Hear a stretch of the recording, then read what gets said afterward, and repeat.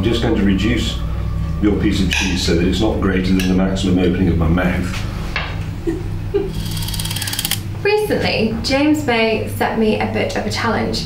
We had been having one of our weekly arguments about, you know, ketchup, tea and coffee, and then it got on to chutneys and pickles. Apparently, James May thinks that people who make their own chutneys and pickles are complete tosses, and that Branston's is the only acceptable option. So, as a James May certified complete tosser, I think I need to have a bit of a chat with him about this. Um, I don't, don't think I said tosser, and I wouldn't call you a tosser. James doesn't believe that anything is superior to Branston pickle. Nobody can make a pickle or a chutney that's as good as Branston pickle, so why bother? But I quite often like to make my own chutneys and pickles to go with whatever I'm cooking. So I've made James a couple of chutneys to see whether they can get anything close to Branston pickle. There's two different ones, and so we're going to see today whether it's good enough for James May. I'm assuming the answer is probably going to be no. No. Because he is a big Branston fan, as you may well be aware. So we're going to make him the world's most simple cheese board of a chunk of cheddar with the two chutneys, and we can see how it goes down.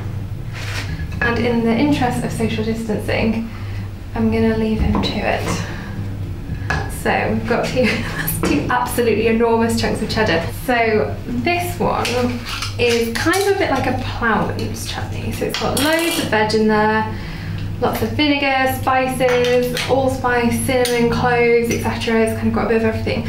The only caveat with this one is, is that it's basically not going to be ready for the next three months, which um, I'm going to put some on there today, but I think it might be a little bit kind of harsh, vinegary. But you know, it's going to mellow out, so this could be the longest running challenge yet. And the second one, I've tried to do my best to make it as Branston-like as possible. I mean, I feel like it's not going to match it for James, but you never know. The colour's definitely better and closer to the real deal, but we will see.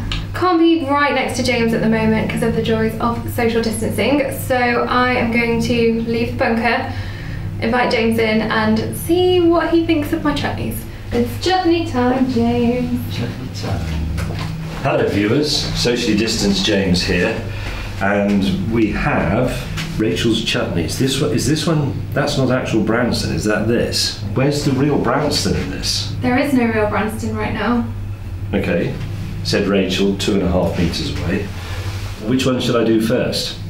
Um, I'd go for the one on your right, And- the lighter one.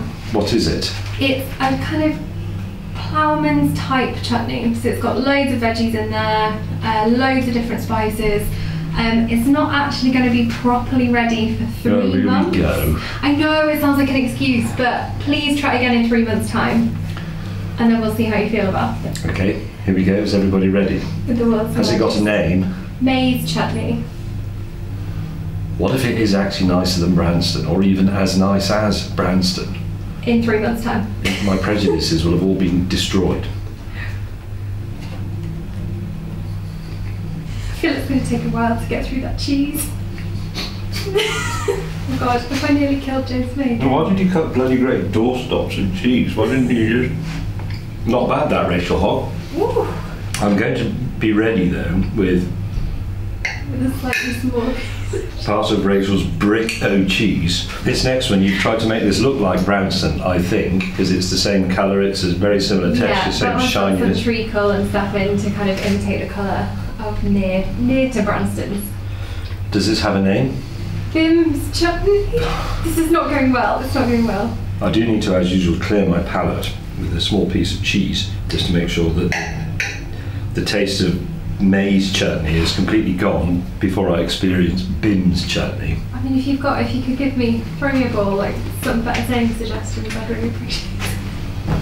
A hundred pound chutney, we could call it. Is there a bet on this? Is there? I thought the bet was on bananas and custard. You put made two. Hmm? You put a hundred on both. Did I? Okay, here we go. Bim's chutney, trying to be Branston. Can't tell whether the facial expression is cheese related or chutney related. I'm just going to reduce your piece of cheese so that it's not greater than the maximum opening of my mouth. August 2021. There is £100 on this. I'm sorry if I seem to be labouring the point a bit, but you know. I either get to go out for the next week or I have to stay in. Bim's chutney, real Branston pickle.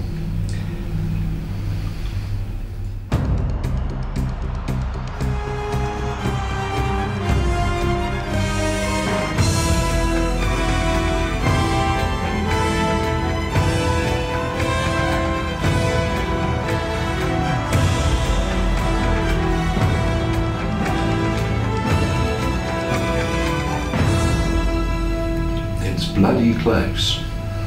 But Rachael's chutney is better than Branston. Bollocks. Bollocks. That's really fantastic. That really, that one's a bit. Oh, It okay. needs a three months. you know. Yeah. That's excellent.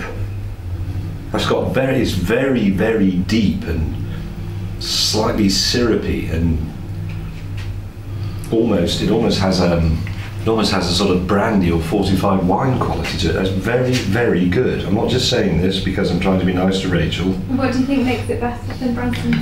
Well, I just thought the Branston seemed slightly thin afterwards. This this tastes aristocratic, almost. It's it's dark.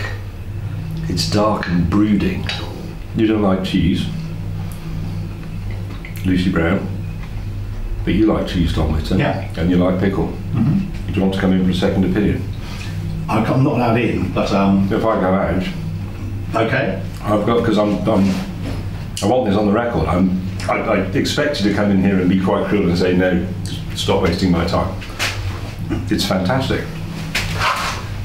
I'll have to go and get a hundred quid. So this is Rachael's chutney.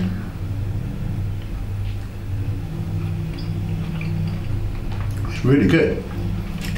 Now I'm going to try Bim's pickle, whatever Bim's chutney.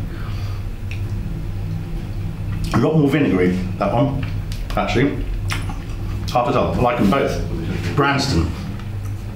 It's Branston. It just tastes like Branston. Very good. It's impossible to tell. It's really, really very similar.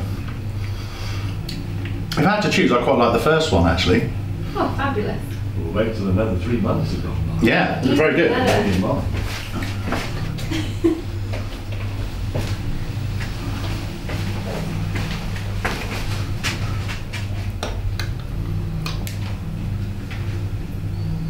How can you be somebody who puts tomato ketchup on roast beef? Would you put tomato ketchup on roast beef and Yorkshire pudding? Yes. You would, but then have the artistry and sensitivity to produce a chutney that good. With baffling. In return for the hundred quid that I now owe you, can I have the remainder of that pot at least? Of course you can. And you have to keep you. the other one for three months. That can go in the bug out bunker fridge, and I will set an alert for three months' time. Perfect. and we'll pile down here and find that the cheese has all gone off. My conclusion, I'm reeling slightly from that because my argument about homemade pickle and chutney, I've been bashing that one out for a good, it's well over two decades, and I've always been right until now. People's homemade chutneys aren't as good as Branston, but you can't refuse them because that would be rude and therefore your lunch is ruined. But if you happen to go to Rachael Hogg's house and she says, Oh no, you must try my homemade Bim's chutney, do. I'm going to have to retract all those opinions. Well, it's nice to be wrong. It's nice to know that the world moves on and that a new generation is here to surprise us and bring new goodness and greatness to the world. I'm happy with that. I'm happy with the idea that I'm obsolete. And I do get a jar of chutney out of it. Like, comment, subscribe.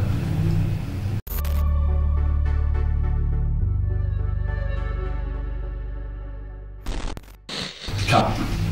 Very good.